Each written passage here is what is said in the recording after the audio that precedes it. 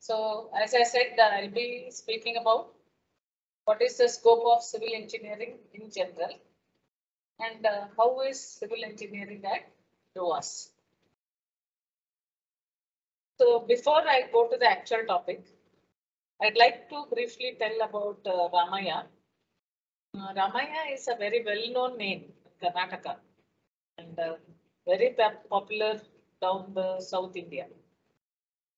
Basically, it is uh, a brand. It is well known in both uh, education and healthcare. Now, this Ramaiah actually runs several institutes and uh, one of them very popular is Ramaiah University of Applied Sciences, which is in short known as RUAS. So RUAS is the uh, umbrella under which different faculties are housed. Okay, so RUAS uh, proudly offers more than 70 programs which run across uh, 10 faculties or some of them are also called as schools. So it runs across several faculties and schools.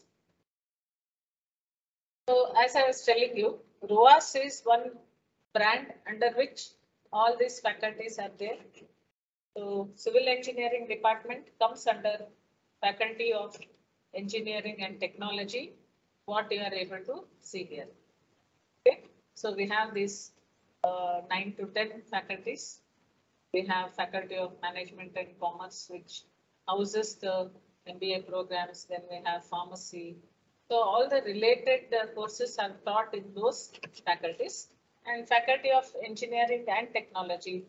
It caters to the engineering disciplines and one of them is uh, civil engineering.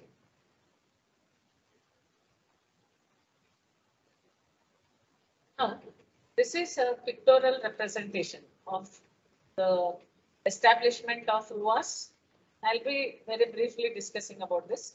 So till 2012, we had uh, different uh, institutes like uh, Ramaiah School of Advanced Studies and so on. So all of them, they were merged and uh, then in 2013, RUAS was established. So as I told you earlier also, these are the various faculties, the various branches of RUAS. Now, coming to uh, what civil engineering at RUAS does. What are its programs and courses? So we offer one undergraduate course, which is uh, named as BTech in Civil Engineering. So we offer a BTech degree and uh, it spans for four years. So each year is divided into two semesters. So totally it runs across eight semesters and the intake for this year it is 30. We also run some postgraduate courses, four, in fact four. So we call them as master's degree, MTech in uh, structural engineering, MTech in construction engineering management, MTech in sanitation engineering and waste management. Now it has been renamed as environmental engineering and management and then transportation engineering. Again, these are the details about the PG courses, how exactly we handle them. Okay, that is the detail. Coming to the actual uh, theme of my talk, it is the scope of civil engineering. Uh, before going to uh, civil engineering, let us first look into what exactly is engineering. So Sumer, can you uh, answer this question? What exactly is engineering? Okay, I shall answer it.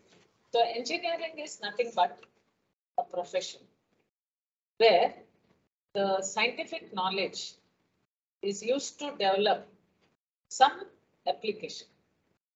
Now, for example, we know that science tells us the property of uh, nature or property of water. For example, science tells that water flows from higher level to lower level. So that is explanation of nature and its laws basically is done by science.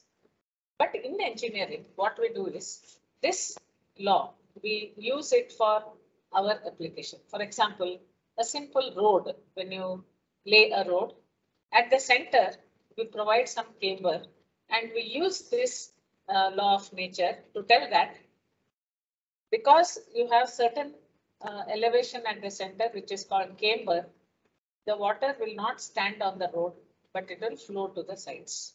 So that simple law, which was explained by science, we have used it to develop our uh, roadways where we are using this property and we are seeing that the water does not stand on the road and uh, the road is water free. Otherwise, the roads get damaged. So engineering is the practical application where we develop some practical application. So its role is to direct the resources of nature to the use of mankind. Okay. So we have many disciplines of engineering. One is mechanical, then aerospace, then automotive, then we have computer science, then uh, artificial intelligence, and of course, civil engineering. Civil engineering is a profession or it is a professional engineering discipline which basically deals with the design and the construction of different structures. So these structures can be as simple as a house or it can be bridges or it can be canals or it can be dams and buildings. But don't think that civil engineering means it is only construction. No, it is not just construction. It is beyond that. So civil engineering basically deals with the civilians or the civil uh, infrastructure or the civil life. So it can be the buildings or it can be the structures or it can be building the entire city itself or towns. So infrastructure is nothing but it may be the water supply or it can be transportation. So if you see it, sky is the limit in civil engineering because you name any project, civil engineering expertise is needed. So we make them happen. Now, civil engineering uh, has led to green revolution in India. Green revolution became a reality in India because of the expert services of civil engineers. For example, you know that the rainfall is not even across the country. That's why irrigation came into picture. So if you want to irrigate, you need to construct some structures. You need a dam, you need a a system of canals to distribute the water.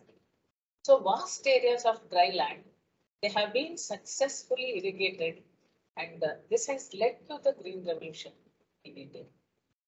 So it gives vast scope for irrigation by constructing dams, canals, and uh, its distributaries, or you can say branches. Also, the construction of the power stations, uh, with the help of which we are able to tap our electricity or dams, uh, which lead to the construction of turbines and power generation. So all this, it is possible with the help of civil engineers. Uh, not only this, now daily we use water, we generate a lot of waste. So we have sewage treatment plants, which provide us with the, the treatment of this used water and uh, one treating the sewage and converting it into, uh, let us say, less hazardous material, which can be disposed in the environment. So this also requires the expertise of civil engineers. Also, for our movement, for the smooth movement of people, we need a lot of roadways, railways, and uh, in nowadays metros, it has come up in metro rail, it has come up in different cities like the Bangalore, then we have uh, Chennai, Kochi recently, then Delhi. So they also, the paths and the roads, what we travel, they're all civil engineering projects. In fact, most of our structures, which may be big or small, large or small, they definitely require the help of a civil engineer. It can be in the planning stage, it can be in the designing stage, or it can be managing the whole project, or it can be all these things put together. Now, civil engineering is called as the mother of engineering. In fact, in the olden days, the first engineering which was born was military. Why? Because those days wars were rampant. So they used to temporarily build bridges for the warfare, move across the other area, demolish the bridge and move on. So that is how military engineering came into picture. But after military engineering, it was the civil engineering which was born. Now, civil engineering is very vast. We have different sub-disciplines. So one of them, we can say it is surveying. Another, we have uh, building materials. I'm just naming a few. We have many more actually. Another is uh, structural engineering, geotechnical engineering. Uh, then uh, we have the water resources, irrigation. Then we have transportation engineering, environmental engineering, and so on. Let us see very briefly what exactly each one does. Now here you are seeing some instruments and you are seeing some people who are using the instruments. So they are measuring, they are measuring the earth's surface. So they may measure the area or they may measure the length. For example, you want to lay a roadway. You need to survey before and during also. So surveying is basically defined as the art of map and plan making. Because before you want to start any construction, you have to survey your area. Then you can develop a plan, uh, all those things. We have some guidelines which we'll be following to develop the plans. Map is on a huge scale. For example, map of a country that way, or map of Bangalore, map of Karnataka that way. Large area. Plan means relatively small. It can be for a simple building or a shopping mall. So that is a plan. So survey, it started with the remotest of instruments to the most advanced. So survey maps, they provide the relative position of various objects, both in the horizontal and the vertical directions. Now you can see the various survey instruments which we'll be using in our survey. Uh, right now, we have a very advanced instrument which is called as uh, total station, where you can not only do the survey, you can also store the details about the various uh, survey what you have carried out in a file. Okay, so total station is the latest. Then uh, civil engineering also takes the help of electronics like we have electronic distance measurement where uh, they are able to measure the distance uh, electronically without actually where, wherever it is inaccessible, one without going there with the help of signals which are reflected back and uh, we calculate. So we have advanced equipments in civil engineering. So these are some of the equipments what we'll be using, dumpy level and so on. Now, uh, when it comes to building materials, we have thousands of building materials. For example, let us say the flooring. The flooring itself, you have a synthetic, you have, uh, let us say linoleum, or it can be marble, or it can be granite. So you have a lot of choices. And as you are aware, the basic need of mankind for a civilized society, of course, it is shelter. So we'll be using a lot of building materials and we need to know the properties. Because if you want to choose a particular material for a particular structure, you need to know its properties. So all this will be um, learning. Not only that, um, every day new building materials are being uh, researched. Okay, we have seen lot of improvement in all these materials.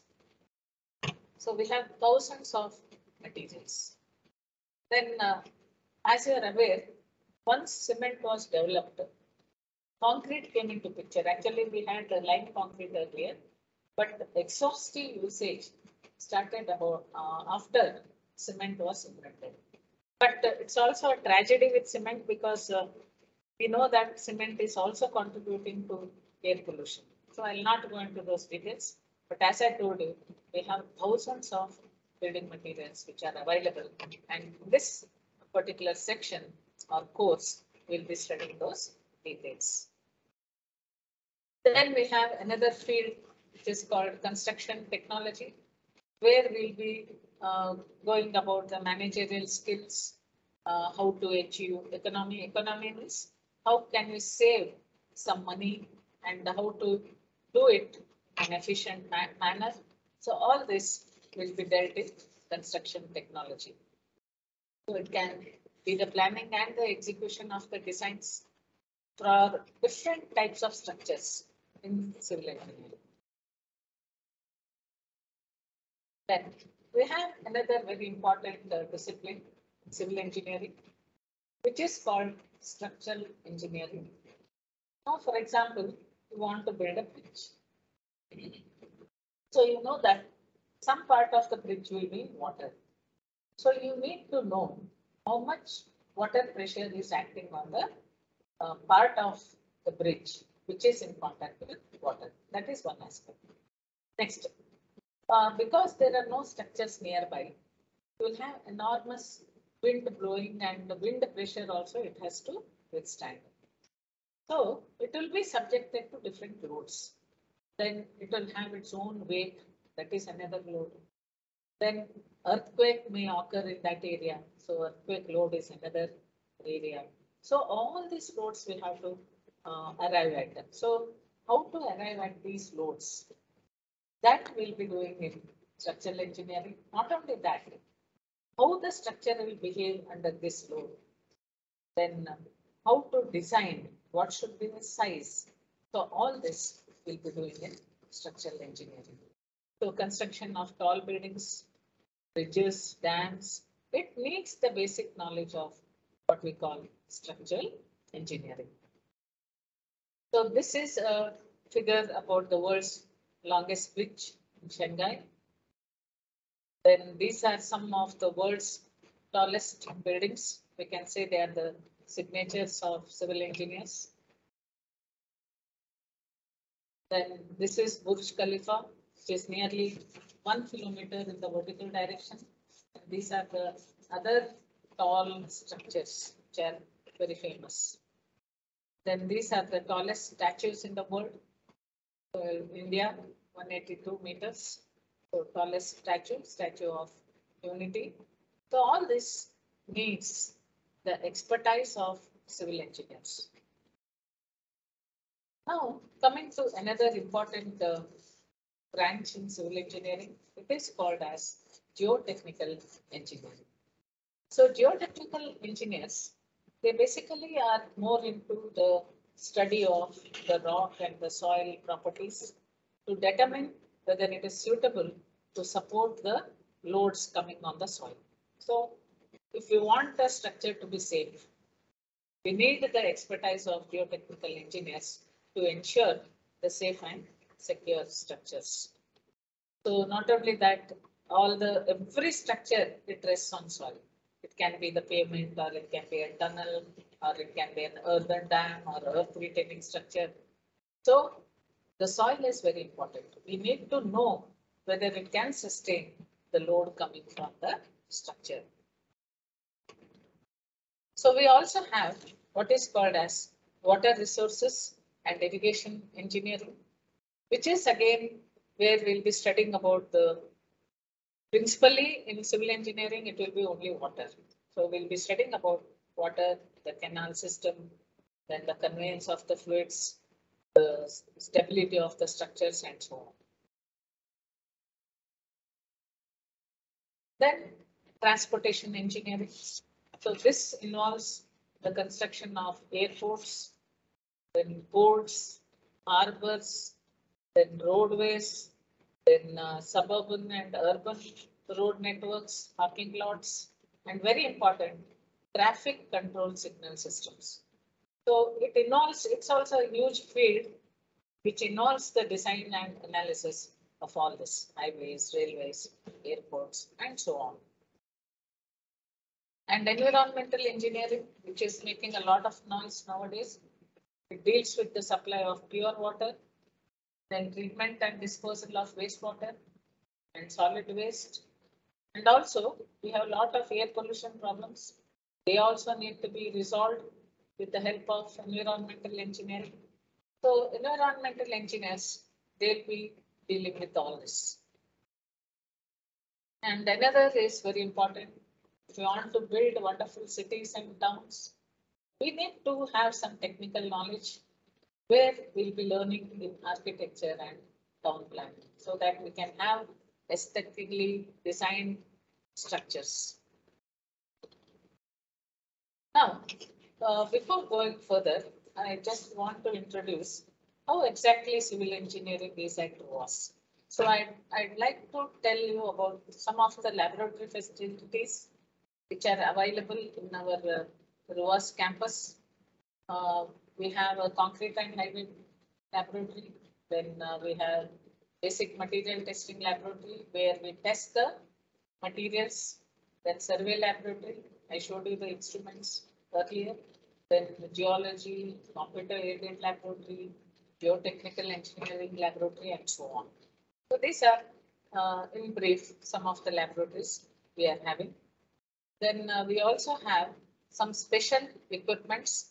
These are some very rare equipments which are not available everywhere. They are used to perform fatigue tests. And also I'd like to proudly tell we, some of our MTech students, they have uh, done some group projects where they have developed some uh, equipments. So this is one such. It's a semi-automatic blasting machine, which is developed by our own uh, MTech students. Then this is also impact testing machine, which is developed by our students for testing the slabs. This is another device activating system for dynamic analysis. And this is a smart waste segregator, which is developed by our students as a part of the project.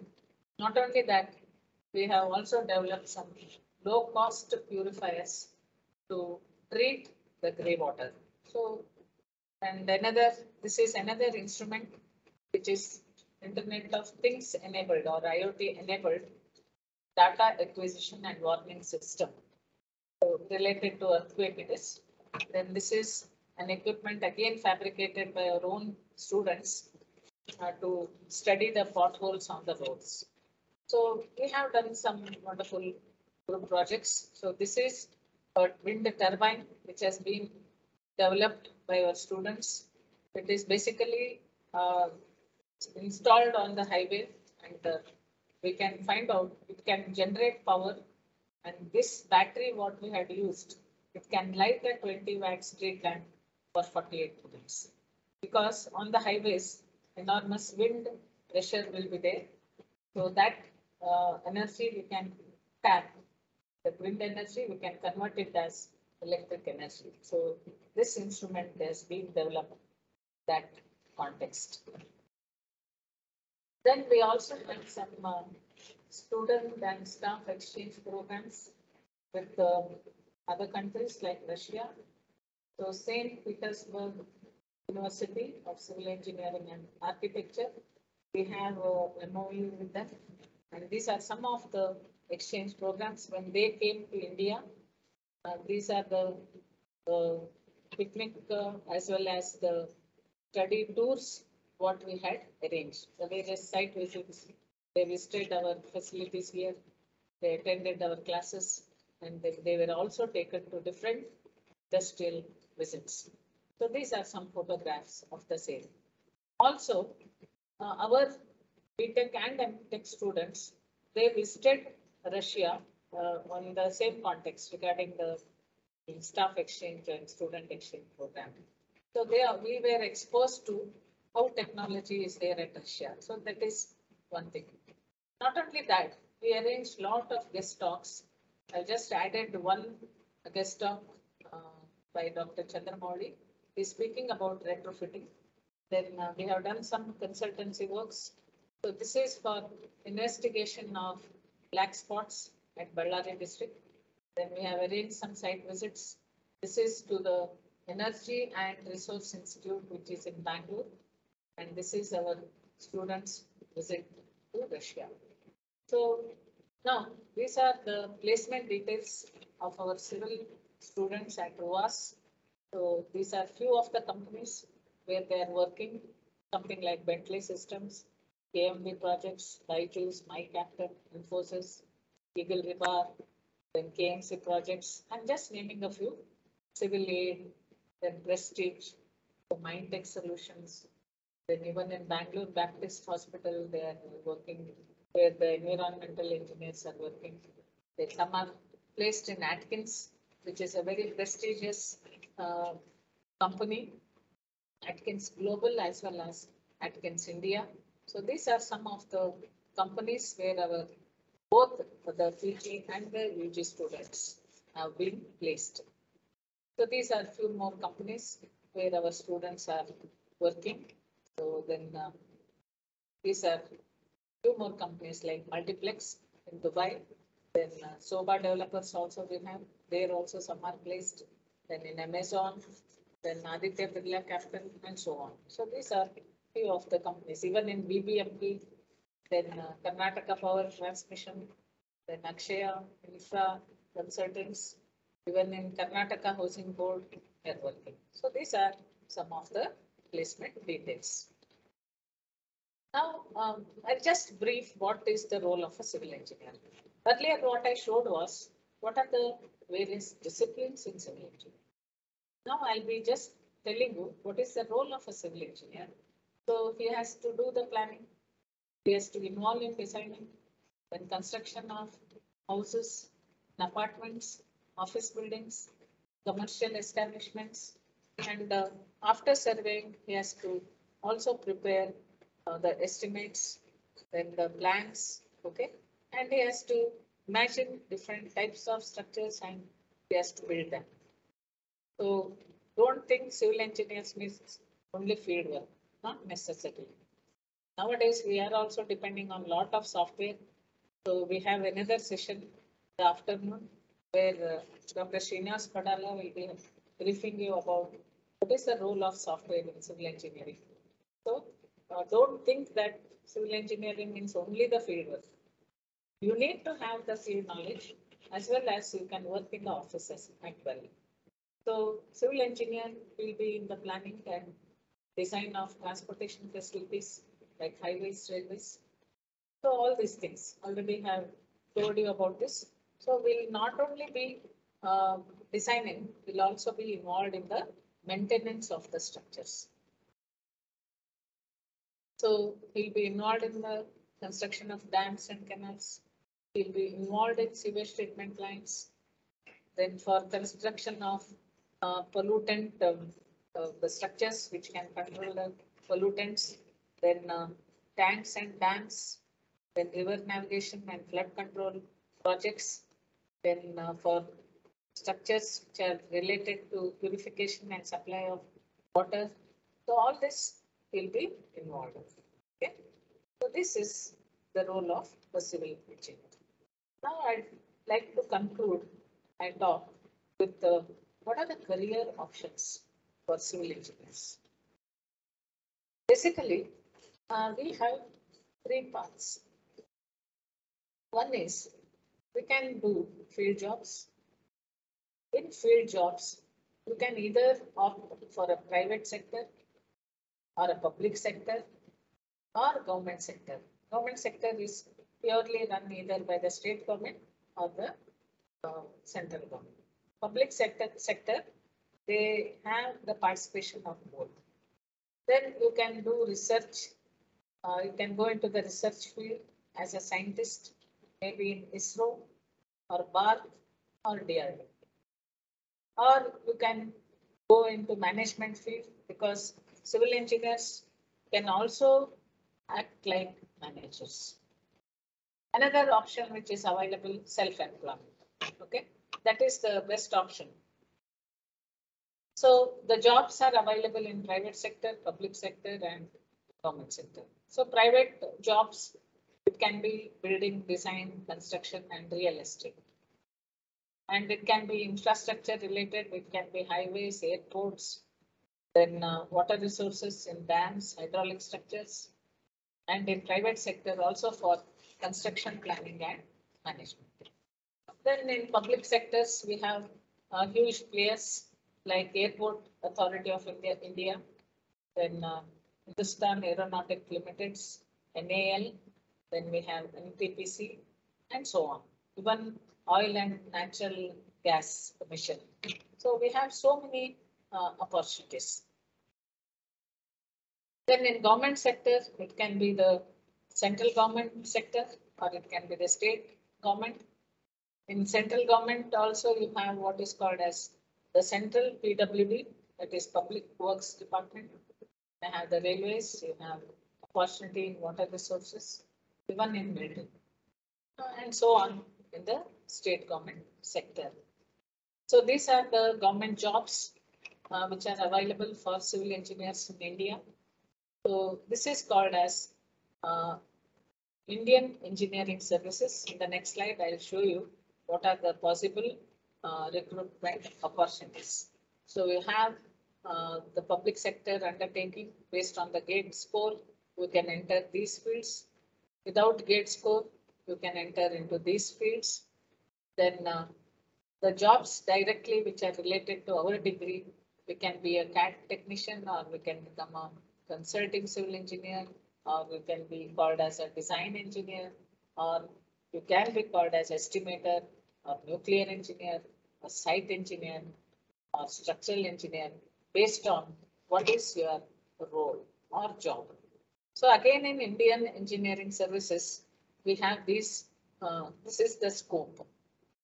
So it can be central water engineering or survey of India service and so on. So this is about IES, Indian Engineering Services. Again, in uh, government sector, following uh, are the absorption of capacities, you can say. So we have municipal corporations where few civil engineers are needed, Jal boards or Jal Nigam, or it can be Delhi Development Authority. When it comes to Bangalore, it is Bangalore Development Authority.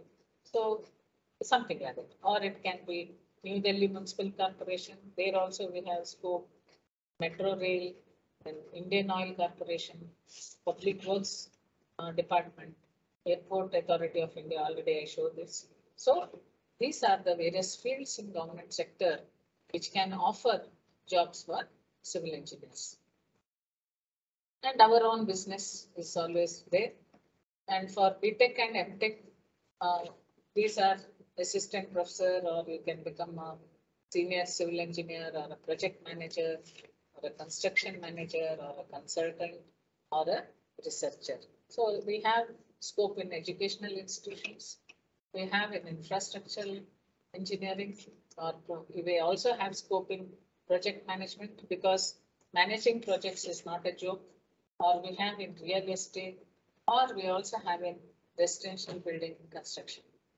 So these are some of the top-notch companies uh, which absorb the civil engineers. So it can be L&T, Pallonji or Punj Lloyd or Infosys Limited or Coastal Projects, Ultratech Cement and so on. So I just named few of the companies uh, which absorb civil engineers. So these are some of the upcoming infrastructure projects um, which have been defined by our Honorable Prime Minister, where there is again scope for civil engineers like it is the Sagarmala project or Bharatmala project or Setu Bharatam project and so on. So we have scope definitely in civil engineering. So this is what I just wanted to convey. So in case of any doubts, you are welcome.